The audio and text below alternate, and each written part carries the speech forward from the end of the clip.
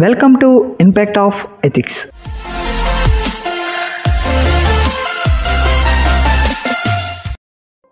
Bermuda Triangle అసలు Bermuda ట్రయాంగిల్ని devil's triangle అని ఎందుకు అంటారు? అక్కడ నిజంగానే దెయ్యాలు ఉన్నాయా? అసలు బెర్ముడా ట్రయాంగిల్ ట్రయాంగిల్ షేప్లో ఉందని నిర్ధారణకు రావడానికి కారణం ఏమిటి? అక్కడ మాయమైన విమానాలు ఓడలు మరియు దానిని గురించి తెలుసుకోవడానికి వెళ్ళి అదృశ్యమైన సైంటిస్టులు ఇలాంటి ఎన్నో విషయాలు ఈ వీడియోలో తెలుసుకుందాం. దానికంటే ముందు మీరు ఇంకా మన ఛానల్ని సబ్స్క్రైబ్ చేసుకోకపోతే ఇప్పుడే సబ్స్క్రైబ్ చేసుకుని పక్కనే ఉన్న బెల్ ఐకాన్ని క్లిక్ చేయండి. ఇలా చేయడం వల్ల మన ఛానల్ నుంచి వచ్చే ప్రతి అప్డేట్ మీరు పొందగలరు. ఫ్లోరిడా బెర్ముడా అండ్ ఫ్లోటోడికా అని మూడు ప్రాంతాల మధ్యలో ఉన్న ప్రాంతం బెర్ముడా ట్రయాంగిల్. ఇది సముద్రంలో ఉండే ప్రాంతం. దీని షేప్ని ట్రయాంగిల్లో ఉందని నిర్ధారించడం కష్టం. కానీ ఈ ప్రాంతం మూడు ఆరిజిన్స్ మధ్య ఉండడం వల్ల దీనిని బెర్ముడా ట్రయాంగిల్ అని పిలుస్తారు. బెర్ముడా ట్రయాంగిల్ ప్రాంతం ప్రపంచంలోనే అత్యధికంగా ప్రయాణించే షిప్పింగ్ లైన్లలో ఒకటి. అమెరికా యూరోప్ అండ్ కరేబియన్ దీవులలో వాడలు తరచుగా బెర్ముడా ట్రయాంగిల్ గుండా వెళ్తాయి. క్రూయిజ్ షిప్స్ మరియు ఎన్నో ఎయిర్ క్రాఫ్ట్స్ ఈ ప్రాంతం గుండా వెళ్తాయి. అంతేకాకుండా వాణిజ్య మరియు ప్రైవేట్ విమానాలు కూడా బెర్మిడా నుండి వెళ్తాయి. అసలు బెర్ముడా ట్రయాంగిల్ ఎందుకు అంత ప్రమాదకరమైన ప్రాంతమో అక్కడ జరిగిన కొన్ని ప్రమాదాల ఆధారంగా తెలుసుకుందాం. Incident number one USS Cyclops AC four. మార్చి నాలుగు పంతొమ్మిది వందల పద్దెనిమిది సంవత్సరంలో యుఎస్ నావికాదళ చరిత్రలో ఏకైక అతిపెద్ద ప్రాణ నష్టం ఈ సంఘటనలో సంభవించింది. మూడు వందల మంది పైగా ప్రయాణించిన ఈ కార్గో షిప్లో అధిక మొత్తంలో మాంగనీస్ మోసుకెళ్ళి ఆచూకు లేకుండా తప్పిపోయింది. బార్బిడోస్ ఐలాండ్ నుండి బయలుదేరిన ఈ షిప్ ఏమైందో ఎవరికీ తెలియదు తుఫాన్ లేదా కొన్ని శత్రుయుద్ధ కార్యకలాపాలు నష్టానికి కారణమని అందరూ అనుకున్నారు. ఆ తర్వాత సైక్లోప్స్ కోనౌకల్లో రెండు ప్రోటియస్ అండ్ నెరియస్ రెండవ ప్రపంచ యుద్ధంలో ఉత్తర అట్లాంటిక్లో ప్రయాణించడానికి వెళ్ళి రెండు నౌకలు అదృశ్యమయ్యాయి. సైక్లోప్స్ లోడ్ చేసిన మాదిరిగానే మెటల్స్ని ఓవర్లోడ్ చేసి పంపించడం వల్ల మునిగిపోవడానికి కారణమనే వాదనలు కూడా ఉన్నాయి. ఇది బెర్ముడా ట్రయాంగిల్ వద్ద జరిగిన మొదటి incident. Incident number two schooner Carroll A Deering US coast guard పంతొమ్మిది వందల పంతొమ్మిది సంవత్సరంలో నిర్మించిన ఐదు మాస్టర్స్ కొనరులలో ఒకటి కార్ల్ ఏడీరింగ్ జనవరి ఇరవై తొమ్మిది పంతొమ్మిది వందల ఇరవై ఒకటిన బెర్ముడా గుండా ప్రయాణం చేసి అదృశ్యమైంది. అయితే ఒక స్మగ్లింగ్ మూట జనవరి ముప్పై ఒకటి పంతొమ్మిది వందల ఇరవై ఒకటిన చట్టవిరుద్ధమైన రమ్ రన్నింగ్ వాణిజ్యంతో నార్త్ కరోలినాలోని కేప్ అడ్రస్ సమీపంలో ఉన్న డైమండ్ షోర్స్ వద్ద దొరికిపోయారు. వాళ్ళ డీలింగ్ షిప్ గురించి అడగగా మేము ఆ షిప్ని చూసామని మరియు హెవిట్ అనే ఒక షిప్ కూడా దానికి సమీపంలో ఉందని ఆ రెండు షిప్పులు కనబడకుండా పోయాయి అని వాళ్ళు చెప్తారు. హెవిట్ అనే షిప్పే టీరింగ్ సిబ్బంది యొక్క అదృశ్యానికి కారణం అయి ఉండొచ్చని ఊహాగానాలు ఉన్నాయి. ఇది ఇప్పటికీ మిస్టరీగానే ఉంది. Incident number three flight nineteen. Flight nineteen అనేది ఐదు టీబీఎం అవెంజర్ టార్బిడో బాంబర్ల శిక్షణ విమానాల్లో ఒకటి. ఇది డిసెంబర్ ఐదు పంతొమ్మిది వందల నలభై ఐదున అట్లాంటిక్ మీదుగా వెళ్ళి అదృశ్యమైంది. స్క్వాడ్రన్ యొక్క ఫోర్ట్ లాడ్రేడ్ నుండి రెండు వందల ఇరవై ఏడు కిలోమీటర్లు ఉత్తరం మీదుగా నూట పదిహేడు కిలోమీటర్లు ఆపై రిటర్న్ పూర్తి చేయడానికి చివరి రెండు వందల ముప్పై కిలోమీటర్ల మీదుగా తీసుకెళ్ళాలని నిర్ణయించారు. ఆ తర్వాత ఈ విమానం తిరిగి రాలేదు. అయితే నావిగేషన్ లోపం వల్లనే విమానం ఎక్కువ డిస్టెన్స్ ట్రావెల్ చేసి విమానంలో ఉన్న ఇంధనం అయిపోవడానికి కారణం అని నేవీ పరిశోధకులు వెల్లడించారు.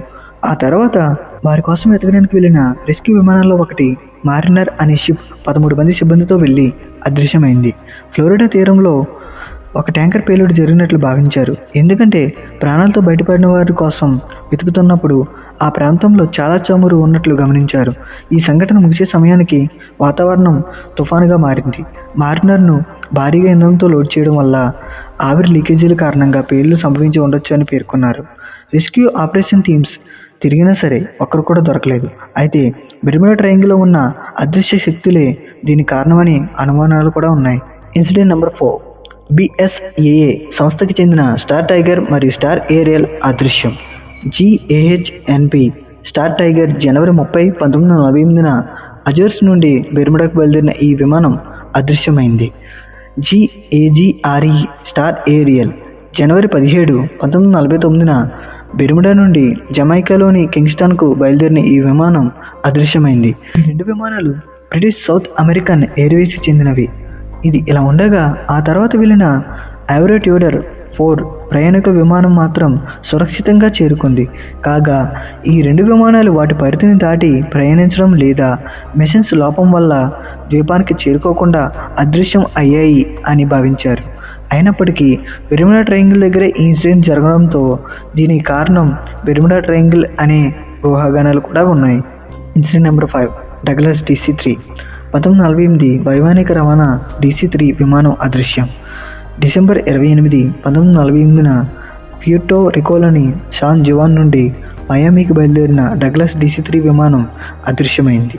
విమానంతో పాటు విమానంలో ఉన్న ముప్పై రెండు మంది వ్యక్తుల ఆచూకీ కూడా ఇంతవరకు తెలియలేదు. సివిల్ ఏరోనెటిక్స్ బోర్డు దర్యాప్తులో అదృశ్యానికి కారణాన్ని గుర్తించడానికి తగినంత సమాచారం అందుబాటులో లేదని తేలింది. కానీ ఈ ఇన్సిడెంట్ కూడా బెర్ముడా ట్రయాంగిల్ వద్ద జరగడం వలన ఆ ప్రాంతం అంటే అందరికీ భయం మొదలైంది. Number six Connemara four. September ఇరవై ఆరు పంతొమ్మిది వందల యాభై ఐదున బెర్ముడాకు దక్షిణ అట్లాంటిక్లో ఒక షిప్ ఆచూకీ దొరికింది. ఆ షిప్ పేరే కొన్నెమరా ఫోర్. కానీ బెర్నిజ్ విర్నర్ అనే ఇద్దరు రచయితలు రాసిన ఆర్టికల్ ఆధారంగా మూడు హరికెన్ల సమయంలో కొన్నెమర సముద్రంలో ప్రయాణిస్తూ ఉండగా సిబ్బంది అదృశ్యమయ్యారని పేర్కొన్నారు. పంతొమ్మిది వందల యాభై ఐదు అట్లాంటిక్ హరికేన్ సీజన్ కాబట్టి అయోన్ హరికేన్ వల్ల సెప్టెంబర్ పద్నాలుగు మరియు పద్దెనిమిది తేదీల మధ్య ప్రయాణించారని పేర్కొన్నారు. బెర్మడ ప్రాంతం మొత్తం బలమైన గాలులు వేచడం వల్ల ఈ విపత్తు జరిగిందని చెప్పారు. బెర్ముడా ట్రయాంగిల్ గురించి విన్నర్కి కొన్నెమరా షిప్ కెప్టెన్ అయిన జీ. ఛానల్ ఆఫ్ బార్బడోస్ ప్రమాదం గురించి చెప్తూ రాసిన ఒక లేఖ దొరుకుతుంది. అందులో ఏముందంటే సెప్టెంబర్ ఇరవై రెండు ఉదయం కన్నెమరా ఫోర్ అట్లాంటిక్లో ప్రయాణిస్తూ ఉండగా కర్లెస్ బ్లేకి చేరుకోగానే హరికెన్ మొదలైంది.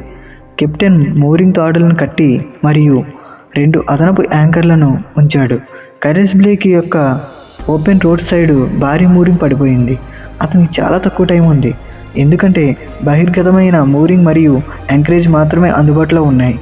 కార్లెస్ బ్లేలో జూనట్ హరికేన్ నేపథ్యంలో సముద్రం ఉధృతంగా మరియు ప్రమాదకరంగా మారింది అని ఆ లెటర్లో ఉంటుంది. ఆ తర్వాత కొన్నెమర ఫోర్ అదృశ్యమైంది. దర్యాప్తులో మూరింగ్ సహాయం లేకపోవడం వలనే షిప్ ఒడ్డుకి చేర్చలేకపోయారు అని వెల్లడించారు. ఆ తర్వాత షిప్ని వేరొక షిప్ యొక్క మూరింగ్ని ఉపయోగించి తీసుకెళ్ళారు. బెరుముడా ట్రయాంగిల్లో తప్పిపోయిన షిప్స్లలో దొరికింది ఇది ఒకటి మాత్రమే. ఇందులో మనుషులు ఏమయ్యారో ఇప్పటికీ తెలియదు. అసలు మోరింగ్ అంటే ఒక షిప్ని మరొక షిప్ సహాయంతో తీసుకెళ్ళడానికి ఉపయోగపడే దాన్ని మోరింగ్ అంటాం. ఈ మోరింగ్ ఒడ్డుకు చేరిన తర్వాత కూడా షిప్ని స్టేబుల్గా ఉంచడానికి ఉపయోగపడుతుంది.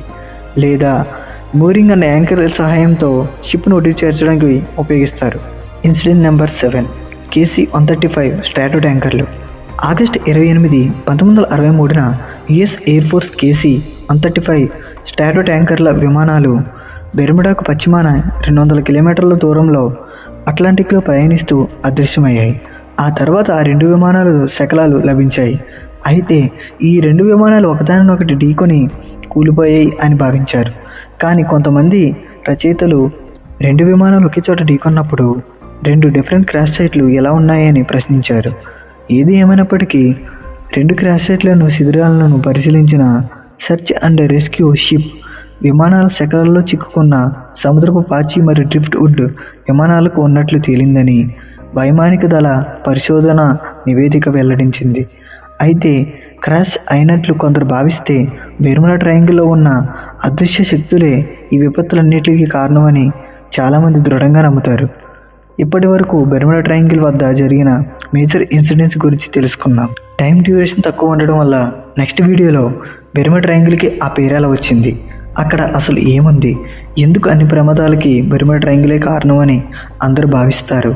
ఎన్ని ఇన్సిడెంట్స్ జరిగినా సరే బెర్ముడా ట్రయాంగిల్కి అక్కడ ప్రభుత్వం ఎందుకు రిస్ట్రిక్షన్స్ పెట్టలేదు అనే విషయాలు తెలుసుకుందాం. ఇలాంటి ఎన్నో ఆసక్తికర విషయాలు మరియు విశేషాలు నేను మీకు క్లియర్గా సుత్తి లేకుండా అందిస్తాను. మీరు చేయాల్సిందల్లా మన ఛానల్ని సబ్స్క్రైబ్ చేసి మీ ఫ్రెండ్స్కి షేర్ చేయండి. Thank you.